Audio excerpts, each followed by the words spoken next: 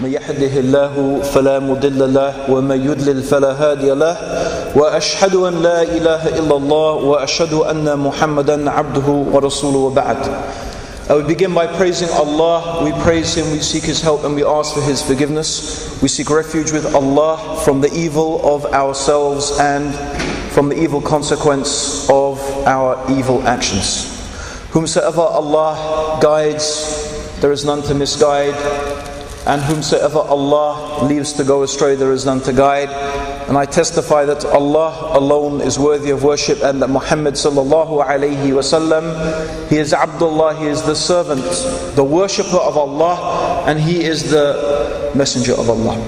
My dear brothers and sisters in Islam, the topic that I have chosen to talk about today is dawah or destruction.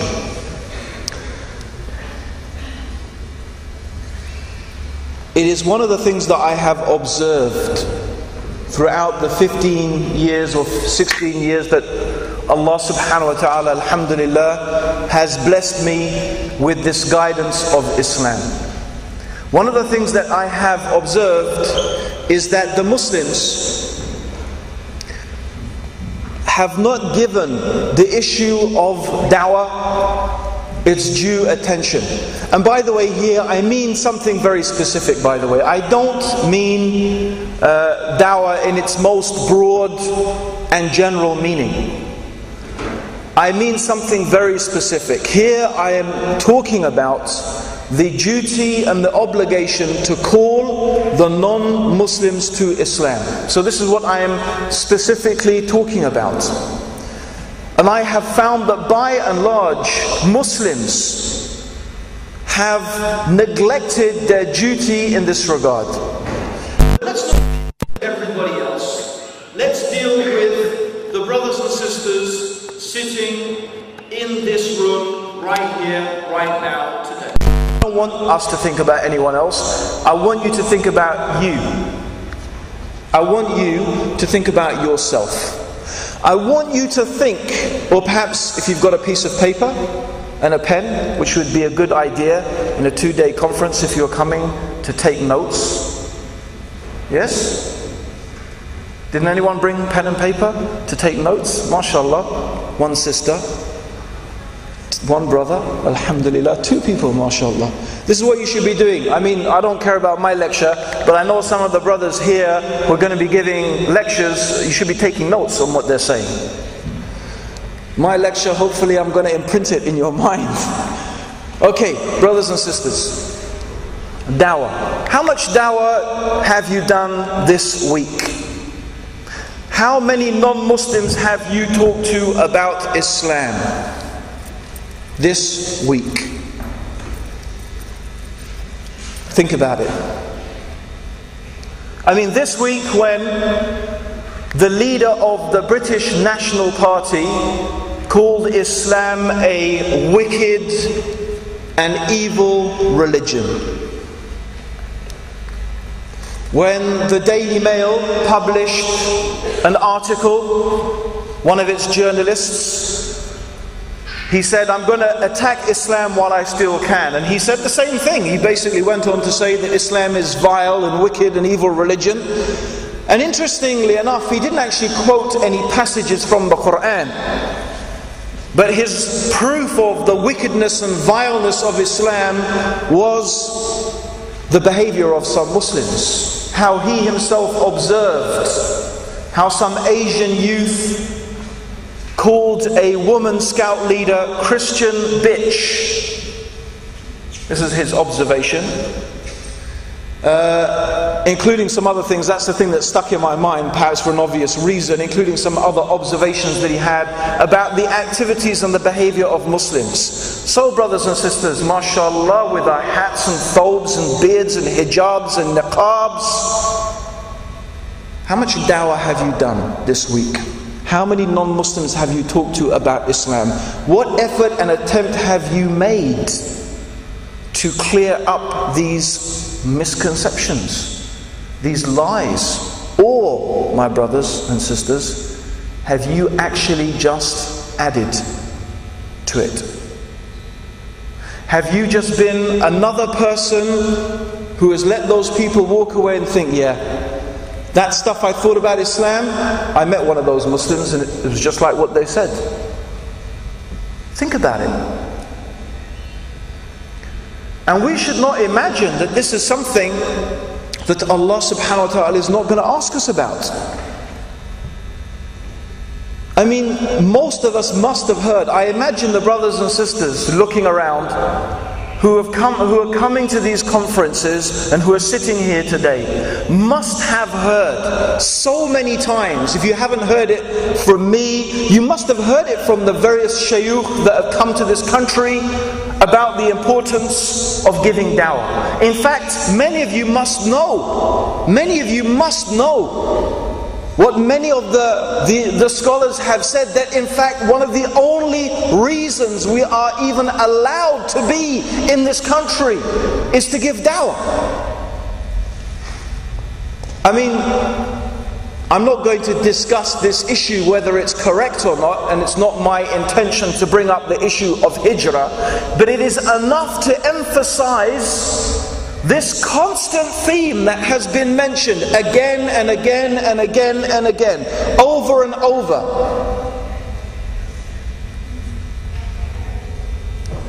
Don't you know that knowledge is something you're going to be asked about? Not the information you've got in your brain, but what action resulted from that knowledge. Our two feet will not stand, will not move from its place in front of Allah. The two feet of the son of Adam will not move from their place in front of Allah until He asks us about five things. Our life, how we spent it, our youth, or in another narration, our health and how we cared for it, our money, how we earned it, and how we spent it and your knowledge and how you acted upon it. Your knowledge and how you acted upon it. Sometimes, brothers and sisters, we accumulate a lot of knowledge, but how much of it do we actually act upon? Here is a simple piece of knowledge. If we don't know the knowledge base for giving dawah, let's just remind ourselves of some of the ayat, some of the sayings of the Prophet wasallam, some of the consequences of failing to fulfill this obligation. That's why I call this talk dawah or destruction, because that is what is going to happen. Either we give dawah or we will be destroyed. That is the option. Either we call to Allah and we invite to His deen, or Allah Himself will humiliate us and He will destroy us. This is the fact. The fact that is proven by what Allah and His Messenger have said. The first example I would like to give is a story. Not a story in the sense of a fairy story, a true story. Let's actually better phrase it history. This is true history. This is mentioned in the Quran. The Quran, Alhamdulillah, is a book that has many qualities, many excellent qualities. And one of its excellent qualities is that it tells us history. But this history is for a purpose, brothers and sisters. The history, the purpose of this history is to remind us of what happened before to the people before, in the times before, and to point out their mistakes and errors so that we do not fall into the same mistakes and the same errors. That we take a lesson. We should learn the lesson of history. This, unfortunately, is something we very rarely seem to be able to do. So here's a piece of history. There was a nation that came before us. They were a nation to whom Allah sent them messengers. Indeed, Allah favored them above all other people. Allah favored them above all other people. They were the Bani Israel, the descendants, the children of Israel. Allah subhanahu wa ta'ala sent them messengers. And amongst these people the Bani Israel, one, there was a village. And this village was located by the sea. And Allah subhanahu wa ta'ala mentions about this history in the Quran. About this village that is located by the sea. And this village used to take or used to make their livelihood from fishing. From fishing. But these people began to commit sins. So when people begin to commit sins, what is the consequence of that? What is the consequence of committing sins? What is one of the consequences of committing sins? Allah sends upon you a fitna, a trial, a test, a tribulation. So Allah sent these people a test. This is the fitna that Allah subhanahu wa ta'ala sent to them. He tested them with something because of their sins. Every single day, they used to go out in their boats and find no fish in the water. Except on the Sabbath. On the Sabbath, which is the one day in the week they are not allowed to do any work. They are prohibited from working on the Sabbath. But on the Sabbath day, the fish would appear in the sea. According to some explanations, this, the fish would be jumping out of the sea. The sea would be full of fish. Now, brothers and sisters, don't you think maybe that if this happened like once, you may think it's a coincidence? If it happened twice, you might begin to think, wait a minute, something's going on here. If it happens three, four, five times in a row, and every time you go to the sea you're not catching anything, and the one day you're not allowed to catch the fish, the fish appear, surely a person is going to start thinking, Allah's trying to tell me something here. Surely. It's like a sign to make you realize. Anyway, this village was divided into three different groups of people. Group A, they devised a cunning plan, or as it was in their mind, a cunning plan. What they decided to do was to lay the nets, to lay the nets to catch the fish the night before the Sabbath. So the Sabbath, like our day in Islam, starts at Maghrib. So just before Maghrib, on the Friday, so Friday evening, just before Maghrib, Friday afternoon, they would lay the nets. Then they would wait until just after Maghrib on Saturday, and then they would collect all the fish. And they'd say, You see, we didn't actually do any work on the Sabbath. We did the work the evening before, and we did the work the evening after, and so we didn't actually transgress the Sabbath. This is according to one explanation of the, the, the Mufassirun. This is what they said. So this is the group. In fact, of course, brothers and sisters, they were breaking the Sabbath. They were still causing fish to be caught on the Sabbath day. And then there was another group of people. This other group of people decided that they must enjoin right and forbid wrong.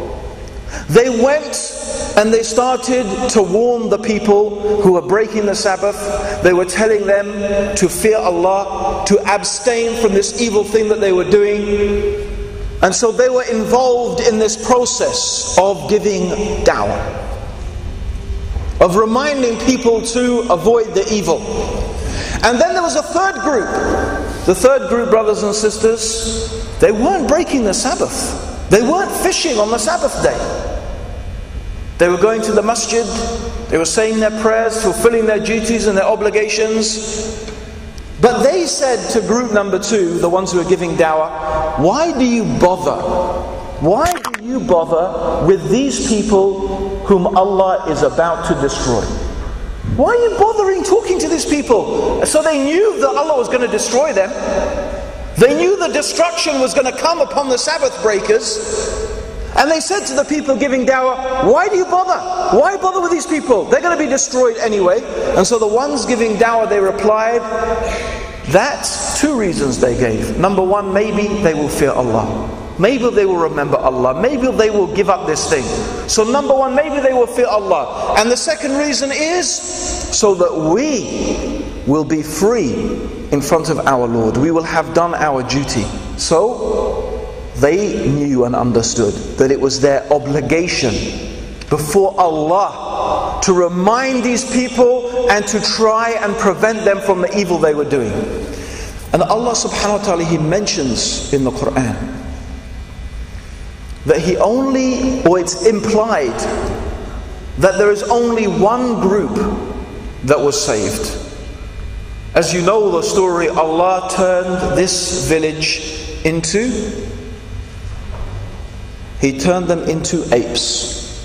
He transformed this village of people into monkeys. That's why, by the way, you hear some people, some Muslims, they often use concerning the, uh, they refer to the Jews as the sons of apes and swine. Ever heard that term being used? About the Yehudis? They call them the sons of the apes and swine. Anyway, in another, there is some hadith that also says that they were turned into apes and pigs. So this is where they get that from. They're the descendants of these people who were turned into apes and pigs. In other words, this is their characteristic. This is what happened to these people sons of apes and swine. So, this is what Allah turned them. But there is one group only that Allah mentioned that He rescued. Allah mentioned in the Quran that we saved those who forbade wrong. We saved those who forbade wrong, and we destroyed the wrongdoers. The only people that were rescued were the ones who were involved in trying to change the evil. Those people who went to the masjid, they didn't break the Sabbath, they minded their own business. That third group that we are talking about, they were transformed along with the others. And this fits, my brothers and sisters, what the Prophet said in general. He warned us in a narration where he said that you must enjoin what is right and forbid what is wrong. You must do it. Or else Allah will send upon you a calamity. Allah will send upon you a calamity. And you will make dua. You will supplicate to Allah. And your supplications will not be accepted. This is why you may read in some of the books that talk about the causes for supplication to be answered and the causes for supplication to be rejected. You will find that they mention that one of the causes for a supplication not to be answered is when people cease enjoining what is right and forbidding what is wrong. Allah will send upon you a calamity. Allah will send upon you a calamity. And you will ask, Allah, save me, save us, rescue us. But Allah will not respond to the supplication. So, brothers and sisters, when we see evil, it is upon us to try and change it. When we see evil, it is upon us to try and change it. If you see an evil, you should change it with your hands. If you cannot change it with your hands, then change it with your tongue. And if you can't change it with your tongue, at least hate it in your heart. And that is the weakest form of faith. That is the weakest form of faith. So, when we see evil, it is upon us, brothers and sisters, that we must do something to try and change it. And we are surrounded by evil. We are surrounded by the greatest evil, which is the disbelief in Allah subhanahu wa ta'ala, the rejection of Allah and His deen.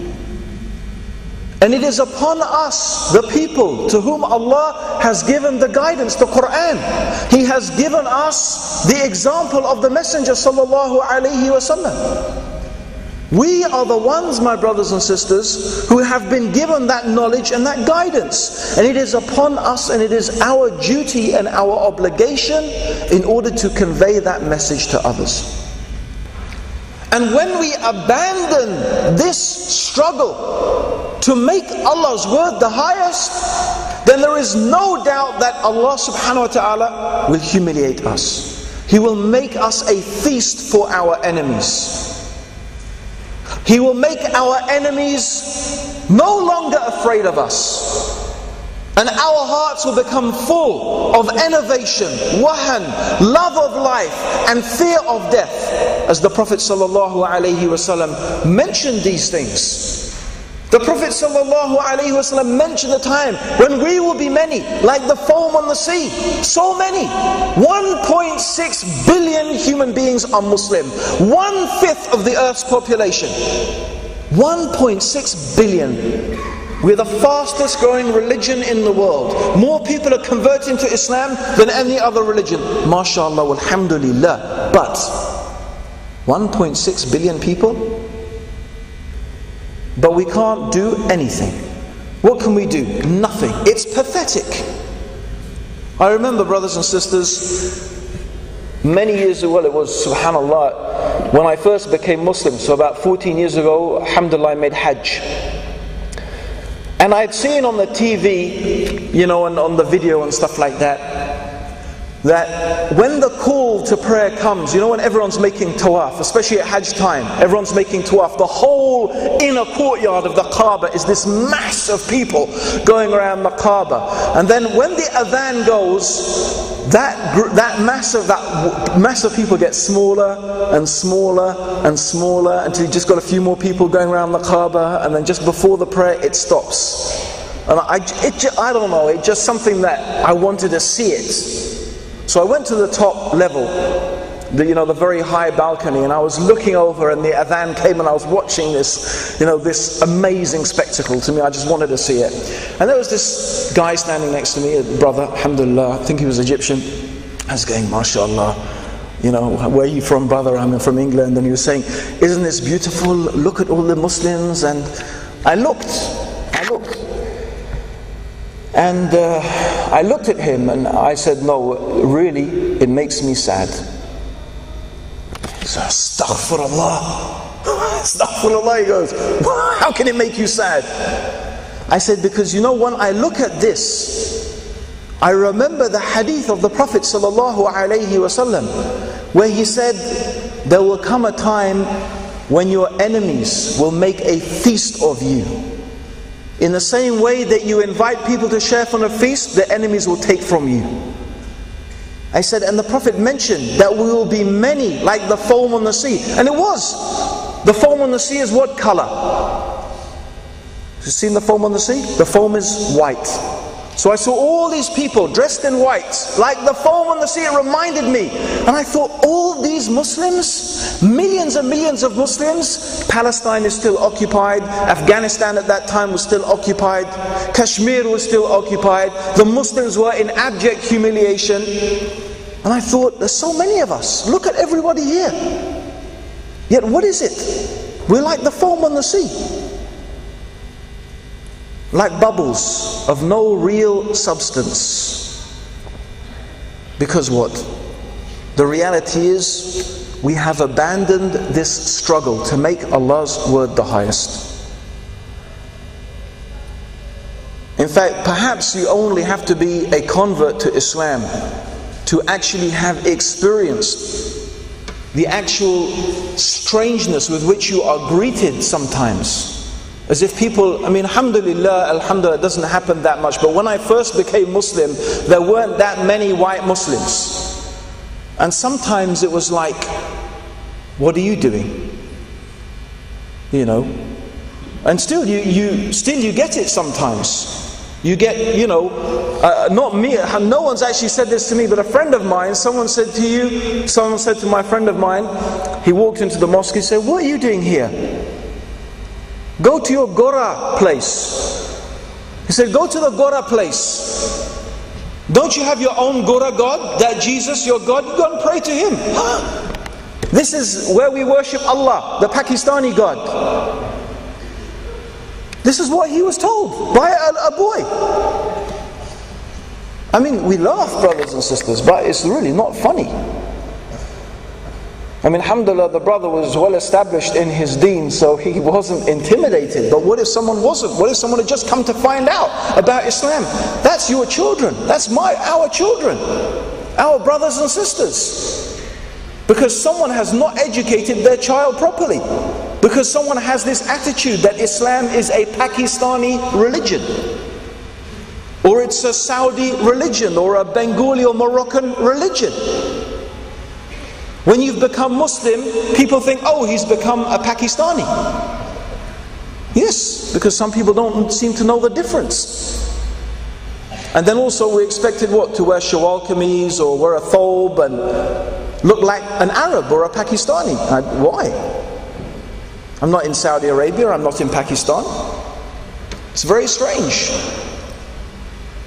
What, what dawah is this, brothers and sisters? What sort of invitation to Islam is this? How is this going to facilitate us calling these people to the religion of Islam? We don't even have this mentality. I mean, alhamdulillah, there are people, many brothers and sisters, who do at least have the understanding. But where's the action? Where is the actual action? Where is the actual going out, making the efforts, talking to people? And I don't mean necessarily, I mean there should be a whole range of activities. There should be. There's so many ways of giving dawah. One can, uh, from, you know, going and speaking to people, knocking on their doors, why not? People say, oh, the Jehovah's Witnesses do it. So? So what? If they do it. What's wrong with going and knocking? Uh, we used to do that. I remember down in Brixton, we thought, let's try it. One guy, he said to us, he said, well, I've had the Jehovah's Witnesses, I've had the Mormons, I've had these people, well, I'm glad that a Muslim's come to tell me about his religion. We'll come in and we'll have a chat. He was really happy. Why not? What's wrong with it? You know, it's free. No one's going to take you and torture you yet. Yet. For knocking on a door and telling people about Islam. No one in this country yet is going to take you and put you in prison, torture you. In fact, in fact, you have a right. You are protected by law to be able to peacefully go and propagate the religion of Islam. Not like the Sahaba in the time of the Prophet when they were in Mecca. If they went down to the Kaaba and they announced their Islam, they would get beaten half to death. They had to pray in secret because they were so afraid. They had to go and they found a valley and a place outside to go and pray. And they used to have to gather in Dar al Arqam because they were afraid of what would happen to them. And as you know, some of the Muslims were so badly tortured. Bilal, how what happened to him? How he was dragged on the sand and pinned down, and hot coals were put on his back until he could smell the fat cooking on his back forcing him to worship idols. And he said, Ahad, Ahad. It's not going to happen to you, not in this country. But we can't even have the courage to go and talk to people and let them know about what Islam really is. Subhanallah. No wonder we're humiliated. No wonder. Because we have a humiliated mentality. We have a defeated mind. We feel inferior. We don't feel that Islam is the true religion. We don't feel that this is the true way for mankind. Like the Sahaba, that's what they believed and they were ready to die for it, brothers and sisters. Look how they suffered. But you and me, what do we do? Who is better in speech? Who is better in speech than the one who calls to Allah and says, I am a Muslim? Whose speech is better? And so it's not just about good character. It's not. Some people say, yes, I give dawah through good character. Well, alhamdulillah, I don't want to belittle that. Absolutely not. It is very, very important. It is very important. It's a great dawah. But I am afraid that brothers and sisters make it a big excuse. Number one, most of us don't have that good character anyway, let's be honest. We don't have the sort of good character that is the type of character that's going to make people become Muslim. That's the first thing. And secondly, it becomes an excuse. Well, I'm not going to talk to him because I'm displaying good character. No, but this piece, person needs to be talked to. And Allah mentioned in the Quran who is better in speech? Who is better than the one who says? who calls to Allah and says, I am a Muslim. This is the best of speech, brothers and sisters, calling to Allah. Calling to Allah. And this, by the way, is our dawah. Our dawah is to Allah. Our call is to Allah. It is not to a sect, it's not to a group, it's not to a culture. We are calling to Allah, to La ilaha illallah, to call the people to worship Allah alone. We're not calling them as some people think, to give up smoking or give up drinking or give up homosexuality. Of course, these things are all forbidden in Islam. That is one of the consequences, inshallah. They will give those things up. But we shouldn't mistake our dawah does not begin with, oh, homosexuality is bad, such and such drinking and out. No. We don't eat pig. And when you become Muslim, you've got to get circumcised. I mean, this, some people think this is the dawah. Or some people get so confused. I remember there's a famous story where a man who really wanted to become Muslim. So he went to some brothers and he said to them, I'd love to become Muslim, but I've only got one question. Do I have to eat curry? I want to become Muslim, but do I have to eat curry? This confusion should not be there. We should at least not facilitate that confusion. I mean, some people, they just get these ideas for themselves. But my point is, our dawah is not to a culture, a particular culture that, yes, of course, it's influenced or strongly molded by Islam. But our dawah is to Allah is to worship Allah alone, to give up shirk. This is where it all begins. If we understand that method as well, we will understand, we'll begin to realize how should we give this dawah. Because anyway, we don't have time at all to talk about that. How do we give dawah? How should we go about it? You know, this is something that really demands a type of proper conference, seminar, discussions that deal particularly with this topic. And it's something we need to learn how to do. It's a skill. It's a skill, it's an art form. Maybe that's not the correct type of term, but it, it is. It's a skill, and you can learn it. You don't have to do be doing it for 15 years. You can learn it. You can learn from people who have been giving dawah. You can learn the things to say, the things not to say, how to approach this person, how to approach this type of person. It's it, you can learn these things, and one should, one must. Because as you know, brothers and sisters, in Islam, knowledge precedes action. We should not be like those people who are full of enthusiasm but ignorant. Let us be full of enthusiasm and knowledgeable. Because uh, unfortunately, what we see is sometimes we have people who have got knowledge, but for some reason they don't have the enthusiasm. I, I don't know. They got the knowledge, but the enthusiasm, uh, enthusiasm, is, enthusiasm is not there. And we find, mashallah, people with lots of enthusiasm, but not, not so much knowledge. So we do have to be careful in that regard. So this is the importance of we need to know what to say, what to do, how to give dawah. We need the enthusiasm and we need the knowledge. Brothers and sisters, please. This issue of dawah is very, very important. We should, I don't want us to go away with the, uh, just some jokes in our head. Really, I have said to many brothers and sisters, and I say it to you, and I believe this from the bottom of my heart. We either give dawah or we will be destroyed. Either you give dawah, brothers and sisters, or else I will tell you the facts. There's only two options. Either you are giving dawah or someone is giving you dawah. Either you give dawah or dawah is being given to you. You are either giving it out or you are receiving something. And the dawah, of course, is the dawah of shaitan, the dawah to Jahannam, the dawah of materialism, the dawah of Christianity, the dawah of this society. Either you're being invited to follow their way or you're going to invite them to follow our way. It's going to be one or the other. And that doesn't just go for you, it goes for your children. Either they are learning to be da'is or they are being given dawah. Either they are going to be the people who carry the message or they are the people who are going to be receiving someone else's message.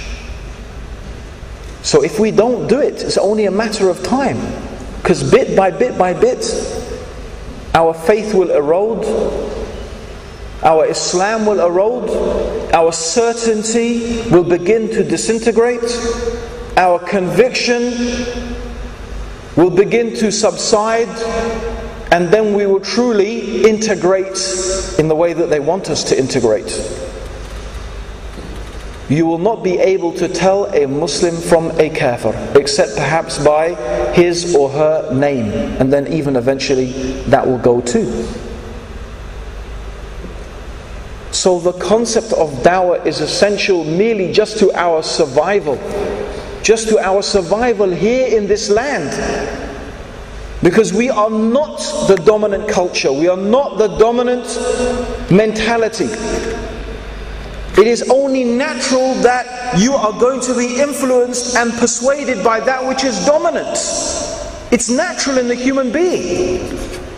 The only way I can think of that you can overcome that is by you yourself becoming strongly involved in challenging these ideas. And you become strongly involved in challenging these ideas in the process of giving dawah. When you talk to people and they ask you questions, then you need to find out the answer to those questions. And you will come back and you'll be able to respond then to these challenges because you've dealt with them in your everyday experience with people. And I'm sure many of you have many doubts, many shubahah, many uncertainties about Islam, and perhaps you've never really had the courage to find out or to voice them to so you could get answers, but you need to. And one of the ways that one learns to do that is through giving dawah. So this destruction, brothers and sisters, may not necessarily come in, you know, flood or a, you know, a, a famine or, or you know, something that is obvious, immediate. Destruction can be slow. It can happen slowly, almost imperceptibly. This it happens both ways. There are many ways that Allah can destroy a people. They're not all dramatic. Not everyone is destroyed with a flood or, or, or, you know with a with a shout or like Ad and Thamud or the people of Nuh. No. Some just gradually fall slowly into decline and disintegrate. This is another type of destruction. It happens like that. It's still destruction just the same. So, brothers and sisters, my plea with you today is to take this matter seriously to make an effort. Act on the piece of knowledge. Now you've got a piece of knowledge, you've got a piece of information. Now I want you to translate it into action. I want you to translate it into action today. I want you to translate it into action today. Why don't you go and talk to your next door neighbor today? Why don't you give dawah to some old school friend you knew at school today? Maybe some relative you know, or some friend of a relative you know who's not a Muslim. There is some way you could give a little bit of dawah today. Don't leave it, do it today. Act on the piece of knowledge. You know it's knowledge, you know you should do it, then act on it. Get into that habit of acting on your knowledge. Because if you don't, brothers and sisters, it's a witness against you, not for you. It will be a witness against you on the day of judgment. Allahumma salli ala Muhammadin wa ahli wa sahbihi.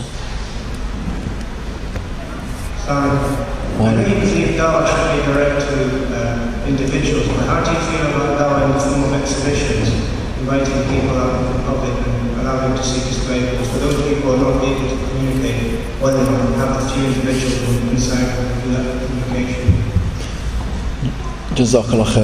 I think we need to use every halal method and means that we can in order to spread the message of Islam. Whether it is through the radio, the television, tapes, CDs, through the internet, on Paltalk, um, or through exhibitions, or through talking to individuals, or through speeches and lectures. Whatever method we can use and utilize in order to convey the message of Islam, we should use it. I actually believe that in this country, exhibitions work particularly well. Because the mentality of the English people, it's very, it's very in touch with their mentality. The English, by and large, are conservative people. They don't change their minds about things very easily. And they don't generally like being evangelized to. The British people generally don't like people standing up and evangelizing and, you know, hallelujah. And, you know, like the Americans, they get all very enthusiastic about things. They, you can do that with them. But the English, I think an exhibition is very much suitable to their mentality.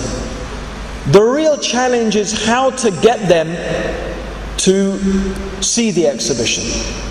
This is the challenge. From my experience, um, it's a good idea. If they come, they usually love it because they can take their time, they can look around. No one's there to look over their necks and you know to be telling them. You know, they, if, if, if there should be brothers and sisters there to talk to them, but they love this way of being able to take their time and look at things in their own pace and not to feel that someone is sort of pushing them any which way. And that suits their mentality a lot.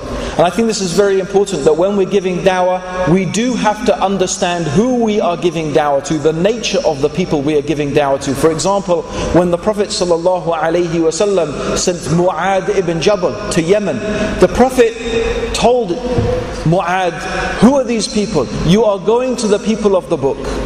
So he's telling them, look, these, this is these people. So, and then he said, let the first thing you call them to is the oneness of Allah. If they accept that, then get them to pray five times a day. When they've established that, so the Prophet is showing Mu'ad the method here. So he's telling them, who are these people?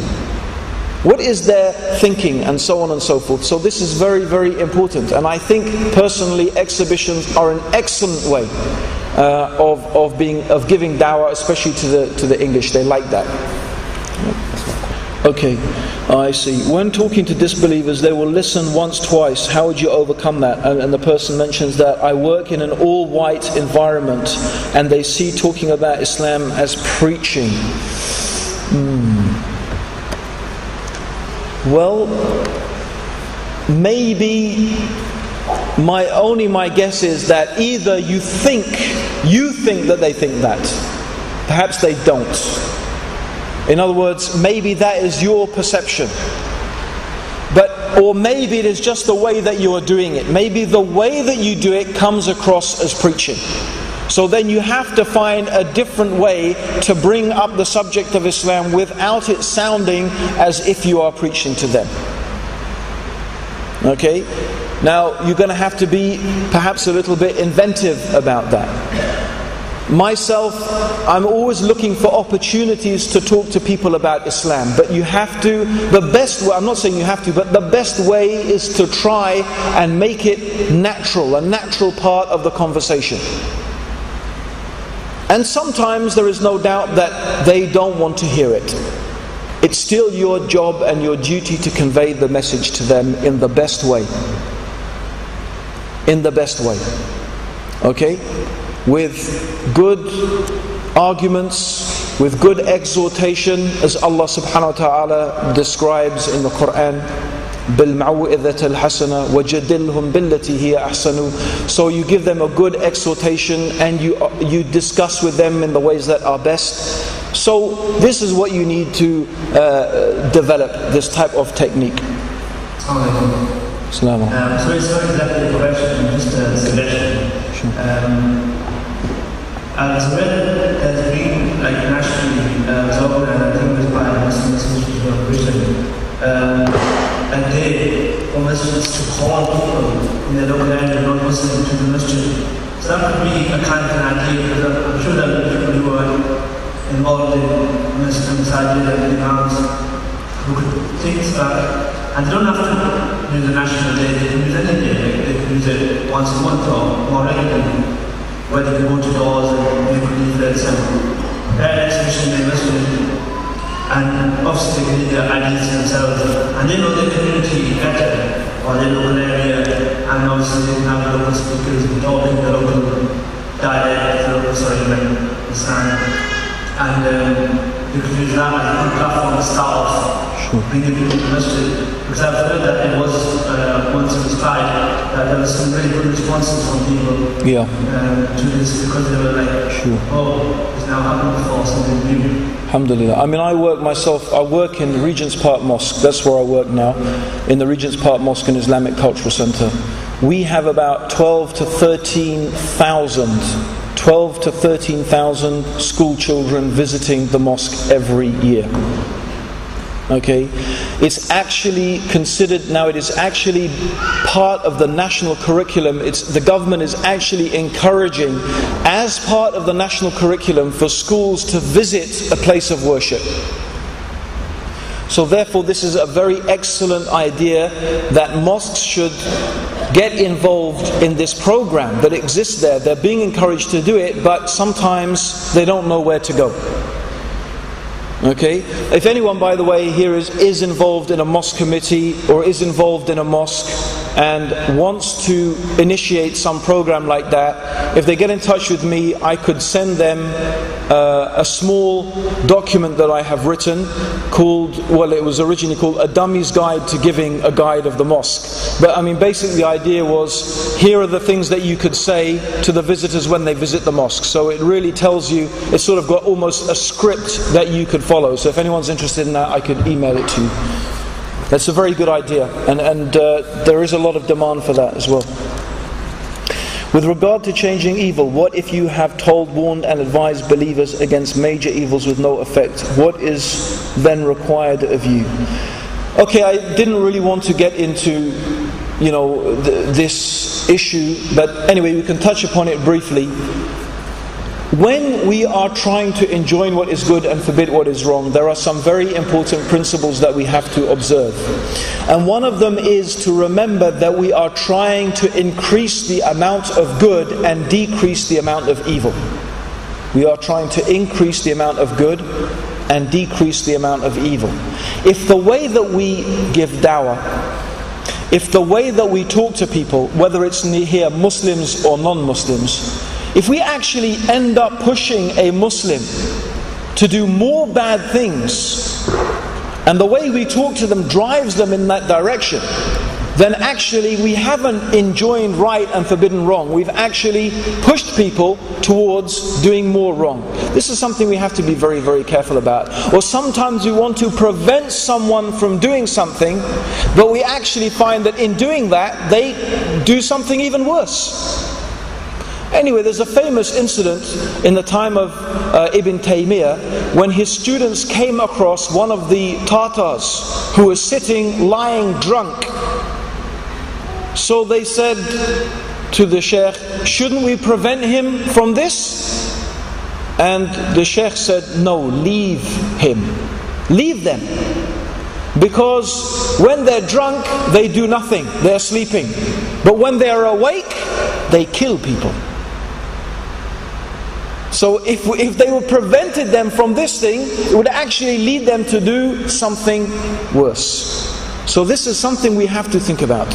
Especially this is perhaps in regard to dawah to Muslims. The dawah to non-Muslims is something much more simple. It's really telling them about Tawheed. We are not in, we are not in the realm here of forcing anything upon them.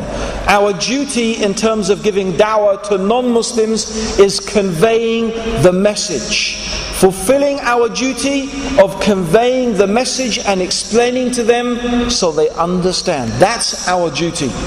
Allah didn't make us responsible for making them Muslim. Allah did make us responsible for conveying the message, however. Basically, just to what this brother said here, and at the back of exhibitions. I don't know if you're aware that there's going to be an Islamic festival which is going to be government backed, I think basically next year. Hmm. I don't know if you're aware of that and do you have any participation in it? And if you have, would you encourage others to participate in and what sort of participation should they have? If I don't know enough about it. But I mean, generally, if we can participate in anything, in any, in, in, as long as it's halal, this is the main thing. I mean, there are, of course, some things we might have to be a little bit cautious about. But if you're asking really what I think, I would go to Glastonbury they have a spiritual, you know, they have a field, a spiritual field. It's one, been one of my aims, and inshallah we'll do it. I'll go to Glastonbury and I'll go there and I'll set up a Muslim tent. Inshallah we'll do that in the future. Why not? I used to go down to Speaker's Corner, Leicester Square, which is the center of all the fitna and evil. And the, but what's that? The Prophet ﷺ used to go to the Kaaba where they would worship idols and make tawaf naked. Yes, people say, oh, the fitna, the fitna. The Prophet used to go there, made tawaf naked. Naked. The Prophet still went down there and he called the people to Islam. Yes? So, really, we have quite a wide you know, spectrum of places and times we can give dawah. Of course, every person has to be a little bit cautious about themselves. You must make sure that if you give dawah, you yourself are not going to end up joining them and doing these bad things, okay? Because this would not be a good, this is not right. Okay, uh, but I think generally, if this festival uh, festival uh, gives you the opportunity to convey the message of Islam, definitely all the brothers and sisters, as much as possible, should get involved, help it. It's a great opportunity, without knowing any details about it. So don't please say after it's some horrible, terrible thing. Oh, Abdur Raheem said, because I don't know the details about it. So, but generally, yes, we should get involved in those things. Alhamdulillah. Okay. Please explain how Islam leads to the vastness of this world. Islam is the vastness of this world.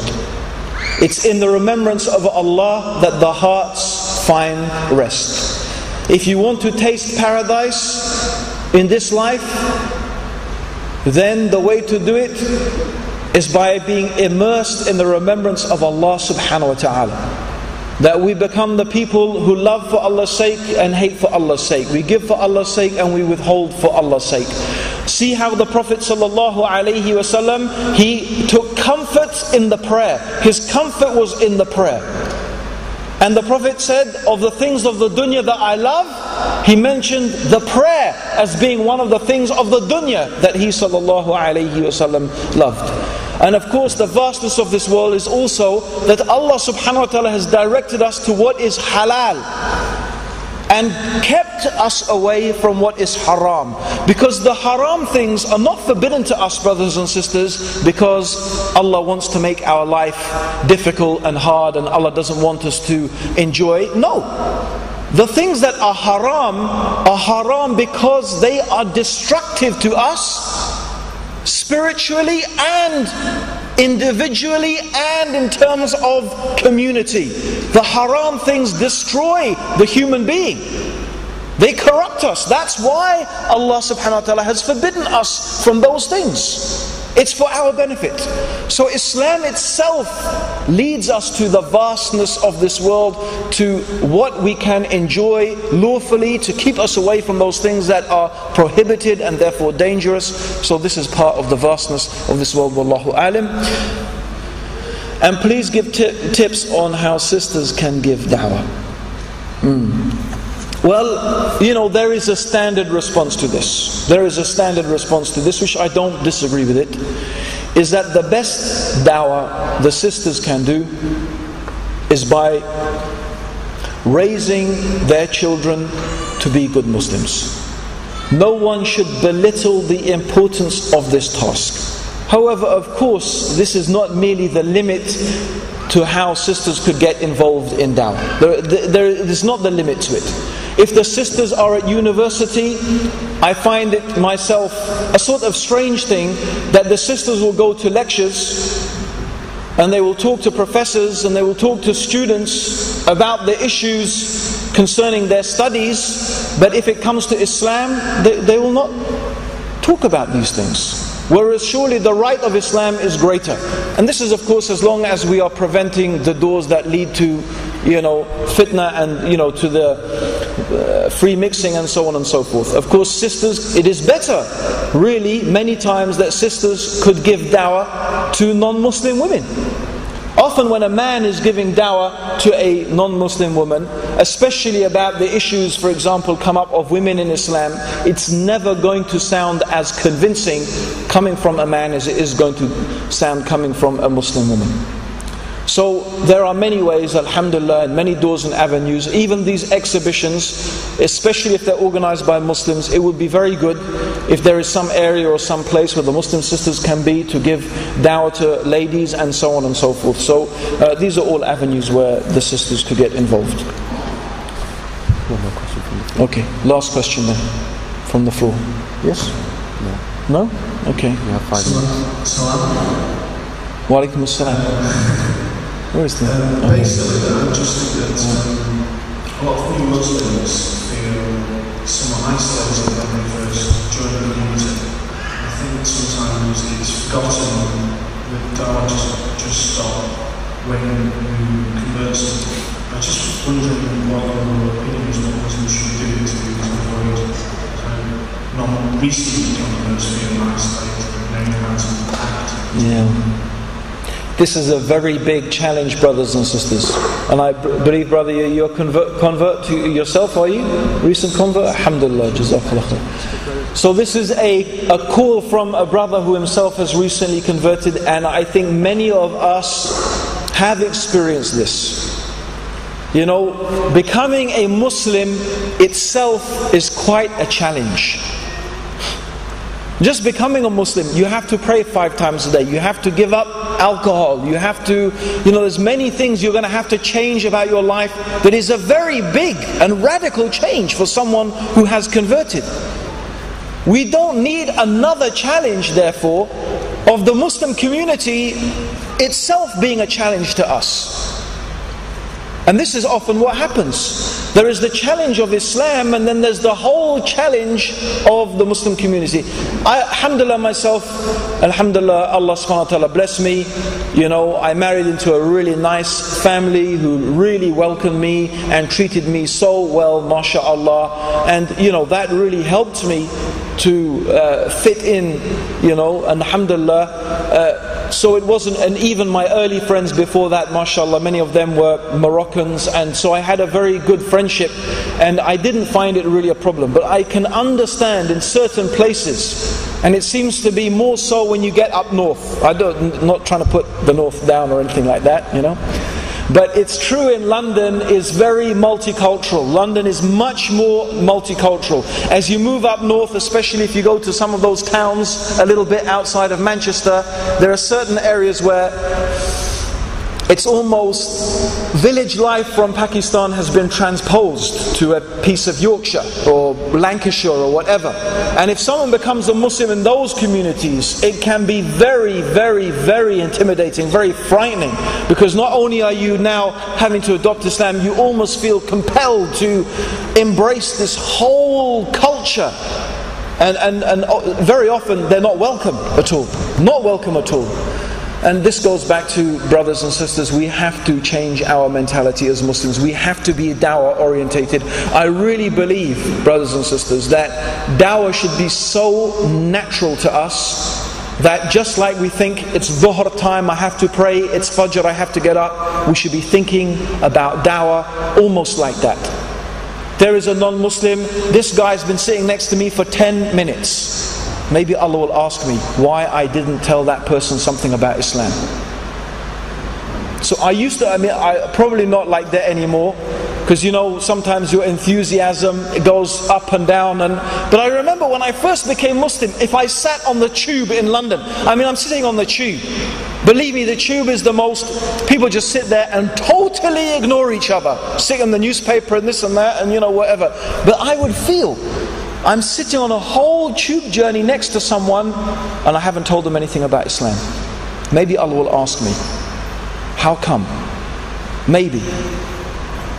And that's the sort of feeling I had about the need to give dawah. And I'm not saying it has to be that extreme, but we should have that mentality. Okay, at least someone's lived next to you, your next door neighbor, for a year, for two or three months. Do they know about Islam? Your neighbor, your work colleagues. Do they know about Islam? So, brothers and sisters, this is the type of mentality. If we get that mentality, when people become Muslim, already our way of thinking is going to we, is going to change, and that's where it has to start. It has to start from a different way of thinking, diff- and it's happening. Alhamdulillah, definitely in London, I've seen a huge change in the mentality of Muslims, and it's actually got a lot to do with what happened on 9 11. A lot of Muslims started realizing that we can't live as ghettoized, isolated communities. We're going to have to go out and tell these people what Islam is about because if they don't, they're going to be frightened of us. They're going to think this and they're going to think that. So we've been forced to come out of our shell. And it's had many. Uh, and this is not to say that it was a good thing what happened, but sometimes out of something bad, something good can happen. And I've noticed, this is, at least in London, I've noticed that there is a, a, a quantum leap in improvement in these things. So, sorry, brother, you're living in Manchester and, you know, these developments are happening in London, but inshallah, you know, uh, I don't know about Manchester, but inshallah, I'm sure that this mentality, especially if you and me today, not tomorrow, not next week, today, we take it upon ourselves to start acting upon this knowledge, changing our mentality, changing our way of thinking, changing our behavior in accordance with it. Okay, and then, you know, I think this issue of accommodating people who have converted to Islam is something that is going to hopefully develop. You know, just as a side point, by the way, in the Islamic Cultural Center, Regent's Park Mosque, we are trying to do something. One of the things we do, we have an Islamic fundamentals study course, which is teaching in one year, there are four weekends of intensive lectures. So it's a bit like this really, what's happening here, except it happens in the ICC, in the Islamic Cultural Center. It's really for about 70 people only. But those four weekends aim to give the person the basics of Islam. The other good thing is you'll meet other new Muslims there and stuff like that. So, brother, you know, uh, hopefully you could get in. I mean, maybe it's a long way, you know, London to Manchester, but they are, alhamdulillah, very, very well received. And it's a good atmosphere to meet other new Muslims. Uh, so that's one of the developments taking place. Alhamdulillah. How would you start a discussion about Islam with a non Muslim? Give me any subject. Give me any subject you like. I mean, I could actually. If we had a little seminar or a workshop, we could do this. I challenge you to give me any subject and I believe if I really wanted to, within three or four sentences, going back and forward, I could bring the subject of Islam up. I knew you'd say football. So, straight away, you know, the way some people support football teams, it seems to me it's almost like a religion. Needlework. There you go, needlework. Oh, great.